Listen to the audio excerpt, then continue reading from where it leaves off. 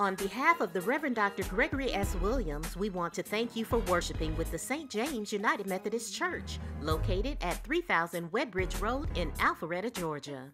We invite you to worship with us in person or online every Sunday morning at 8 a.m. and 11 a.m.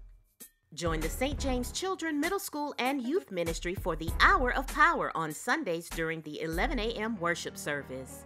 It's a fun and exciting time of spiritual growth and fellowship for our children and youth. We can't wait to welcome you back.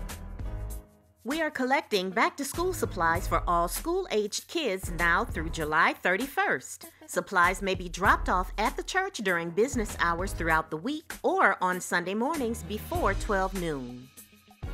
As we continue blending our worship services with in person and virtual worshipers, St. James is in need of volunteers who are social media savvy to help facilitate and engage with our virtual online audience during the 8 a.m. and 11 a.m. Sunday worship experiences. Please email connect at stjamesumc.org for details on how you can get started today.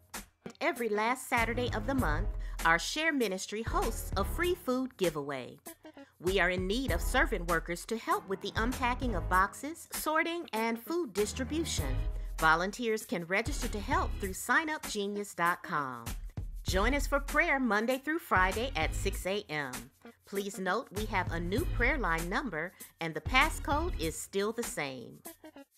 As today's service comes to a close, we want to remind you that you can stay up to date on all the happenings at St. James United Methodist Church by visiting our website at www.stjamesumc.org.